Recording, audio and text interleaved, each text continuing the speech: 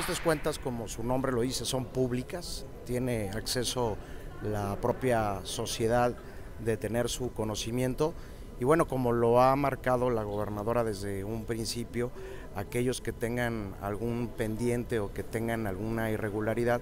pues serán las autoridades correspondientes las que dicten qué es lo que se tendrá que hacer con estas cuentas y así también con estos funcionarios. Eh, siempre desde el inicio de la administración hemos sido nosotros mismos muy respetuosos con los procedimientos y en caso de que las autoridades correspondientes eh, dicten que se tenga que cumplir con alguna observación, alguna reintegración o alguna otra multa a servidores públicos pasados, pues ellos son del conocimiento que tendrán que,